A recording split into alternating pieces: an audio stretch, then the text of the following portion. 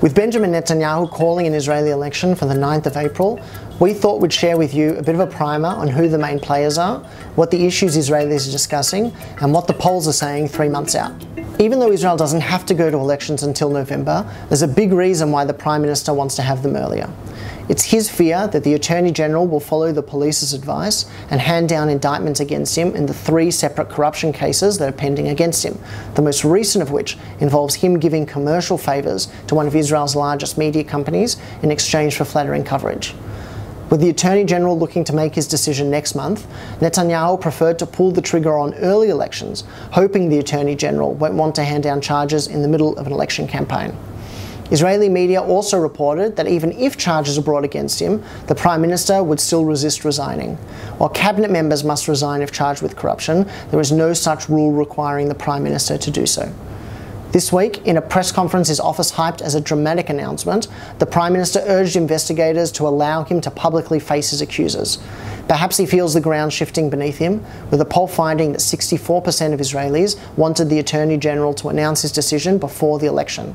But while we wait to see what happens with that, we'll turn our attention to some of the other main players in this election and see who will be challenging Netanyahu in April. Most analysis points to Benny Gantz as the only candidate who is any serious competition to Netanyahu, despite a lack of clarity around his platform. The former IDF chief of staff was courted by most major parties. Labour leader Avi Gabay even had to deny a report that he offered to stand aside and allow Gantz to lead the ticket. In the end, Gantz registered a new party, Hosen Yisrael, or the Israel Resilience Party, and has begun searching for running mates. While Gantz may be the only candidate who can challenge the Prime Minister's Mr. Security image, it's far from certain that he'll be a representative of the centre left, for example. Of course, that hasn't stopped Likud members attacking him as a leftist.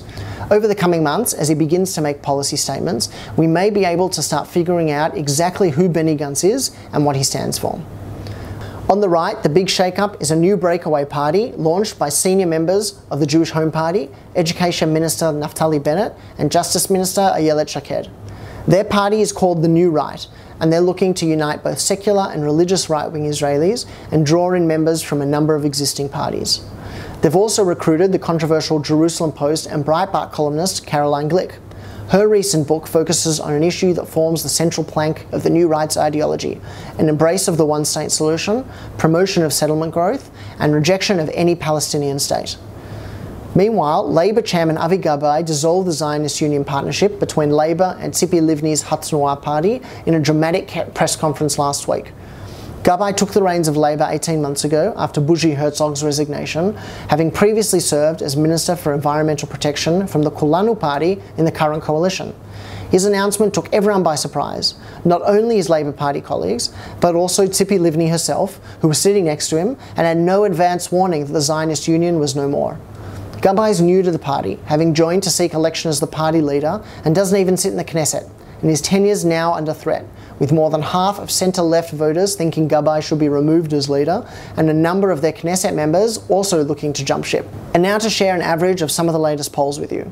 With more than three months to go, they're not really a reliable predictor of what the election results might be, but they are interesting as a snapshot of how the Israeli public is feeling now, particularly with a number of new parties forming and old ones falling apart.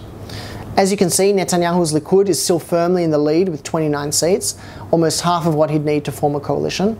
Benny Gantz's Israel Resilience Party would come in second with 13 seats, while Yair Lapid's Yesh Atid Party and the Joint Arab List would have 13 and 12 seats each. Naftali Bennett and Ayelet Shaked's New Right Party would have nine, entirely at the expense of their old Jewish Home Party. The Avi Gabay-led Labour would have eight seats, less than half its current 18. Kulanu, the party of Finance Minister Moshe Kahlon, loses half its current base of 10. Meretz and Avigdor Lieberman's Yisrael Beitenu would say roughly the same, while United Torah Judaism and Shas, the two ultra-Orthodox parties, would still have a combined 12 seats. A new party, created by former Yisrael Beitenu MK Orly Levy, would get five seats, as she seeks to renew the Gesher brand, founded by her father David in the mid-1990s. Of course, party compositions are still going to change, and regardless of who wins the next election, they'll need to wrangle coalition partners as there's no clear mandate for any party with the current forecasted results. That's all we have for now. Hopefully, a good start if you're trying to wrap your head around what the election is going to mean for Israel. Watch out for future episodes where we'll share more as news develops. Thanks for watching.